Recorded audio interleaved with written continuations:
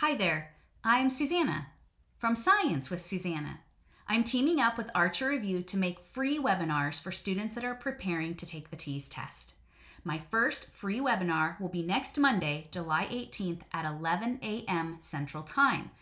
We'll put a link in the video description down below so that you can register for the free webinar. During this first webinar, I'll lay out the different science topics that you need to review in order to be ready for the TEAS test. And then I'll spend about an hour focusing in on the parts of the cell and all of their functions.